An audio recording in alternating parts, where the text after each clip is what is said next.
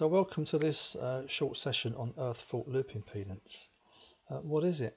Well, one definition might be this, that it's a measurement of a property's power supply to check the earthing is adequate and efficient. We basically want to know that the earth is actually earthed and is working properly. Uh, and we don't know that unless we test for it properly. And currently, as heated engineers, most of us don't. Now, let's just take a, a step back and just talk briefly about the things we do do. So one of the first, first things that we may do, or you should do, is check a boiler casing that it's not live, and we use a voltage detector for that. Um, now, if a casing is live, of course, you've got two issues. You've got the issue that there is a live to earth fault, and then, of course, the fact that it's still live, if we're testing it and it's still live, is um, that the earthing system isn't working properly. It hasn't allowed the system to automatically disconnect the supply. So there's two issues there. Um, another thing we do is earth continuity. We check continuity between the power supply, which may be a spur or a socket, and the boiler itself and various positions within the boiler. This doesn't though, tell us that the earth within the socket or spur is even connected, let alone working properly. So we could have uh, a loose earth, an earth that isn't connected, and we would never know. So if that boiler became live while we worked on it, we would get a, a whack uh, for sure. Now, of course, if it's a socket and not a spur, we could just put a socket tester in it and we would know for sure then that the earth is connected. But even in that case, we don't know the effectiveness of that earth and whether it will disconnect the supply quickly enough so that any shock we get won't be fatal. So the way to do that job properly, to check it properly, is to use a specific bit of kit, something like this. We're going to look at this bit of kit in practice in a minute. But let's just first consider, other than our own safety and the safety of our clients, why should we be doing this? Well, the guidance is in Technical Bulletin 118, Safe Electrical Isolation of Gas Appliances. And it says it's guidance on the safety precautions and safe electrical isolation of gas appliances. It says there it's guidance, but I tell you what, it seems much stronger than that to me. Let's have a closer look at note 1. And within note 1 it says this, it says the health and safety enforcing authorities regard the guidance in this technical bulletin as a best practice requirement and would expect all gas safe registered businesses and engineers to apply the requirements of this technical bulletin. I'd say that's a little bit stronger than just guidance myself.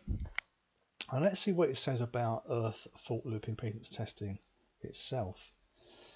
It says when working on a gas appliance, it's important that the earthing of the power supply to the equipment is adequate and efficient. In customers' premises, this is likely to be unknown, so it's important to carry out a test to demonstrate the effectiveness of the earthing. The safe way to do this is to measure the earth loop impedance of the power supply using an instrument designed for that purpose. And as mentioned earlier, this is such an instrument.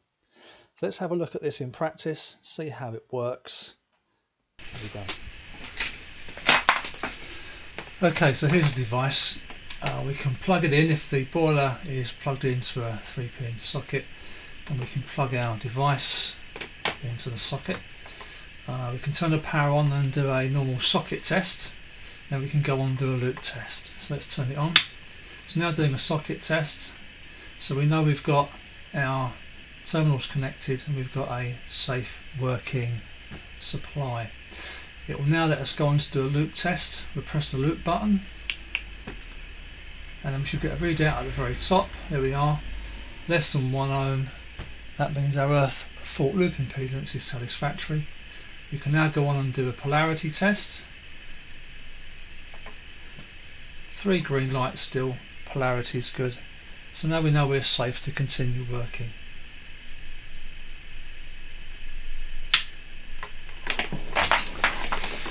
Okay, so in this situation we've got a spur.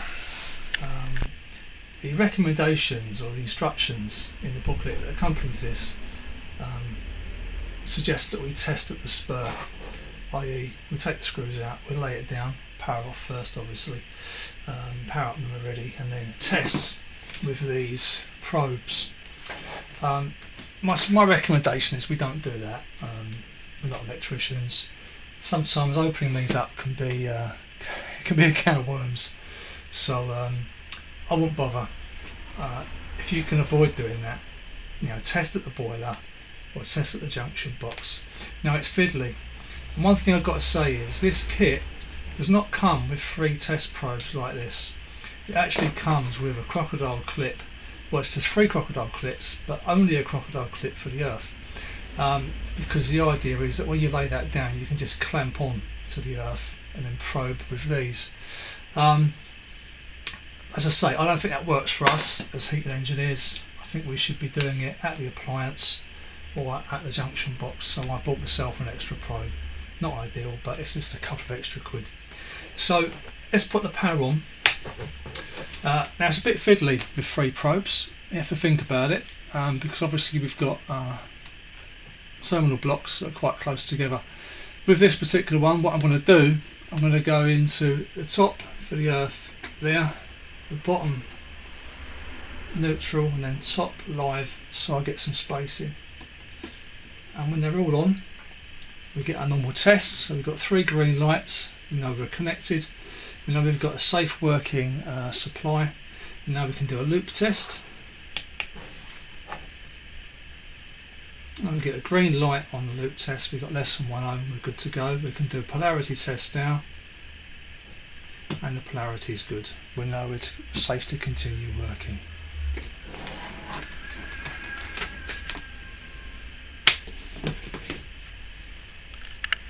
Well, I hope you found that useful, and I'll see you next time.